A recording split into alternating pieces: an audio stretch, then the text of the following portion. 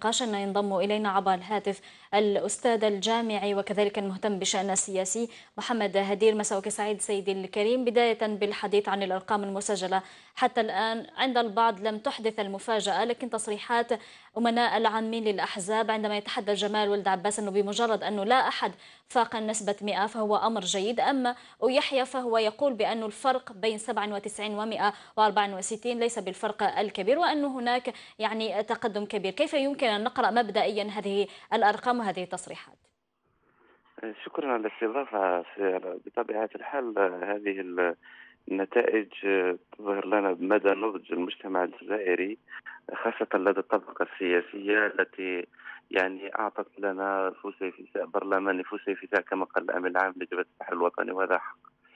كذلك تراجع الإسلاميين بقوة مقارنة بين 97 إلى 2012 إلى يومنا هذا. ثانيا مؤشر جديد وهو ظهور الشباب والأحزاب الصغيرة التي حصلت على أرقام لا بأس بها على سبيل المثال حزب المستقبل وحزب تجمع أمل الجزائر. هذا مؤشر ثاني على انه الثقافة السياسيه لدى الشباب الجزائري أصبحت يعني واضحة المعالم. كذلك رسالة أخرى أن المشككين في الانتخابات والذين كانوا يروجوا للمقاطعه بات قاب قوسين أو ادنى من ذلك بأن المجتمع حتى وإن كانت النسبة 38.25 وهي نسبة متدنية مقارنة بما سبقها من تشريعيات. ولكن كما قلت في ليلة البارحة عندما استضفتني بأنه عند الساعة الخامسة لما كانت 33% إلى غاية اليوم 38 هي نسبة لا نقول متدنية ولكن مقبولة مقارنة بالدول الدول الجوار أو الدول الأوروبية لأنها مقبولة لأنه كان خطابا سائدا عندما كانت تأتي النسبة أكثر من 50% و60% كانوا يقول هناك تزوير هناك كذا. ولكن حتى لما تكون النتائج لا نستطيع التعليق عليها لأنها مقبولة ومنطقية جدا. ماذا عن الأحزاب أو القوائم المستقلة؟ لاحظنا أنه في تقدم بالنسبة لها. أي مؤشر يمكن يمكن قراءته من خلال ذلك؟ هذا مؤشر ثاني مؤشر ثاني ظهور المستقلين وكما يحدث الآن في فرنسا وأوروبا بأن الأحزاب التقليدية بدأت تفقد وعيها الانتخابي وظهور وجوه جديدة وظهور نزعة جديدة لدى الشباب الجزائري ولدى المثقفين الجزائريين. البعيدة عن الأحزاب كبديل لأن الأحزاب في أغلبيتها يعني فشلت في إقناع في طرح طروحات جديدة وبالتالي بدأ المجتمع الجزائري يميل نحو الوجوه الجديدة نحو التشبيب نحو الأفكار الجديدة وهذا كذلك مؤشر جديد بأن السياسة في الجزائر بدأت ترسم معالمها بين التيار وطني محصن وبين شباب مستقلين يبحثون عن دائما الجديد في طروحات أفكار جديدة وبحث عن حلول اقتصادية. بالحديث دائما سيد محمد هديرة عن الأحزاب السياسية هذه نتحدث عن فكرة التحالفات لأنه بالنسبة مثلا للأفلان مدام في مركز قوة فهو من يخضع الباقون لشروطه. تحدث أنه التحالف بالنسبة له أمر ممكن لكن يكون في خط دائما الذي تتبعه يتبعها الأفلان. واضح واضح الأمر. يعني قلنا في في البرلمان الجديد تختلف عن البرلمان القديم لأنه هذه المرة فيه نوعية من المترشحين فيه دكاترة فيه رؤساء جامعات فيه يعني هذا البرلمان سيكون قوي جدا. ولكن حزب جبهة التحرير حزب وطني معروف وله تاريخ ورصيد ثقافي وعي انتخابي فمن الممكن أو من المنطقي انه يتحالف مع حزب حزب الارندي أو التجمع الوطني الديمقراطي لأنه أقرب إليه في الأفكار وأقرب إليه في في قيادة البلاد. سيد محمد هدير الأستاذ الجامع والمهتم بشأن السياسي جزيل الشكر لك على هذه المداخلة. ومن تحليلك إلى تحليل آخر تحليل ميداني لصحفي عائشة طبعا هذا الحدث الانتخابي وأحداث سابقة. فيصل مطاوي طبعا الإعلامي ينضم إلينا كذلك عبر الهاتف مساءك سعيد فيصل مطاوي. إذا شهدت على عدد من التشريعيات تشريعية 2017 وتشريعيات كذلك السابقة. هل لك أن تقف معنا عند تقريبا المفارقة في تشريعيات 2017 خاصة أنها تشريعيات الأولى؟ التي تكون في ظل الدستور الجديد.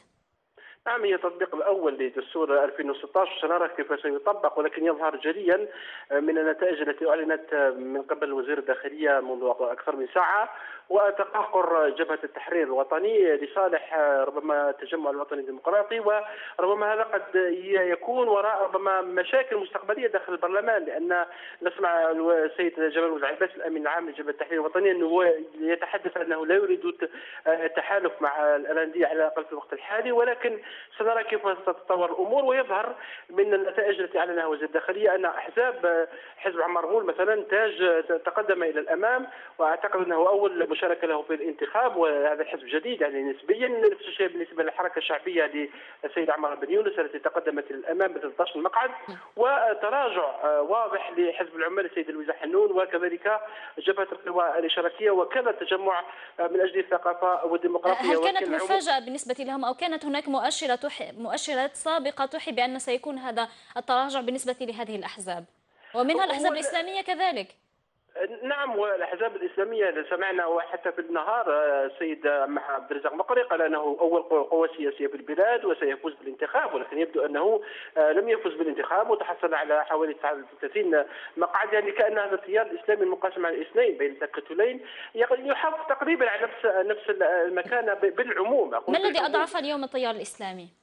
لاسباب عده هو هو اولا حركة مجتمع السن شاركت في الحكومة ثم أصبحت تتحدث بنبرة المعارضة وكأنها بالفعل. غير معنية بما حدث.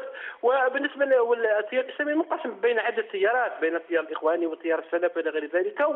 والجزائريون لم ينسوا ما حدث في التسعينيات القرن الماضي عندما كان بعض التيار المتشدد سببا فيما حدث في البلاد. يعني هذه الأمور لا زالت حاضرة في الشأن وفي المشهد الجزائري ولكن الملفت للانتباه هو ان هناك أحزاب جديدة. رغم أنها لم تحصل على إعداد كبير من يعني يعني أن المشهد الجزائري منقسم منقسم حتى يقول أن البرلمان الجزائري هذا السمه الأساسية سمته الأساسية هو أنه برلمان موزايك يعني هناك هل موزايك بالمعنى الإيجابي أو أنه سيكون موزايك بالمعنى السلبي أنه تحدثت واستخدمت مصطلح الانقسام هنا سيد فيصل مطاوي؟ هو التعدديه دائما يرحب بها. الأفكار عندما تتعدد شيء يرحب به. الأحادية التي ترفض. ولكن الموزايك يصبح صعب عندما يتعلق الأمر بتشكيل اولا مثلا مجموعات برلمانية أو ثانيا عندما يتعلق الأمر بتشكيل أغلبية للتصويت على القوانين. وتعرفين إن البرلمان الجديد مقبل على قوانين حساسة جدا. قانون العمل وقانون التقاعد وقانون الصحة إلى غير ذلك. وبالتالي فالأغلبية تشكيل أغلبية وتجمع الأصوات يصبح أمر حساس جدا مستقبلا عندما تكون الأصوات هكذا عدد أحزاب الأمر يصعب جيدا ولكن بالنهاية هي هي خبرة خبرة وتجربة للأحزاب التي لأن الممارسة السياسية يجب تكون داخل المؤسسات وبالنسبة هذه الأحزاب بالنسبة هذه الأحزاب التي تحصلت على مقعد أو مقعدين هل تعتقدون بأن حلها الوحيد هو في أن تنضم أو يكون هناك نوع من التحالف فيما بينها؟ نعم هي مضطرة هي مضطرة يعني بالعموم هي تيارات وطنية تيارات ديمقراطية بالعموم أقول هي مضطرة والتحالف وكذلك خبرة بالنسبة للأحزاب لأن التحالف هو تجمع حول أفكار وحول مبادئ أساسية والحزب عندما يكون عنده مقعدان أو ثلاثة يعني لا يمكن أن يغير في الأمر شيئا ولكن كيف ستكون عملية التحالف حتى نفصل الموضوع أكثر ويكون فهمه سهل؟ على أي أساس يتم التحالف؟ هل هو اختياري أو سيتم وضع برنامج معين من أجل خلق هذا التحالف؟ هو تحالف بعض الحالات يكون إجباري عندما الاحزاب هناك نوعين من تعرفين أن القانون لازم 20 مقعد باش يعني الحزب يكون مجموعة برلمانية ويبدو أن تقريبا غالبيه الاحزاب الحاضره في البرلمان لا يمكن تشكل ربما مجموعة برلمانية ما عدا ثلاث أو أربع أحزاب. يعني التجمع يكون عن طريق المشاريع السياسية عن طريق الأفكار السياسية عن طريق الخبرات عن طريق الهدف السياسي. ماذا أريد عندما أسوي هذا القانون أو اقترح هذا القانون؟ يعني هذا سيكون ربما محك لهذه الأحزاب خاصة الأحزاب الجديدة. ولكن الشيء الآخر هو هذا الحضور الملفت للانتباه للمستقلين يعني أعتقد هي الرابعة قوة سياسية في البرلمان. هل الاستقلالية يعني الابتعاد عن الأفكار الحزبية والأفكار السياسية هل الاستقلالية في في التشريعيات سيكون لدفاع عن أفكار جديدة؟ سنرى يعني لا نعرف التركيبة المفصلة ربما ستعطى نتائج فيما بعد لهذه المستقلين ولكن هذا التيار ما نسميه بين قوسين تيار مستقل هو شيء جديد في المشهد السياسي الجزائري. فيصل مطاوي قبل أن تغادرنا ونختم معك طبعا هذا الموضوع. نتوقف عند نقطة فاصلة كانت ما يسمى بالورقة البيضاء أو إلغاء بعض الأصوات. هل لابد اليوم على الطبقة السياسية حتى بعد انتهاء هذه التشريعية أن تأخذ بعين الاعتبار هذه النسبة التي سجلت ولو أنه لم يتم تقديم إحصائيات حولها؟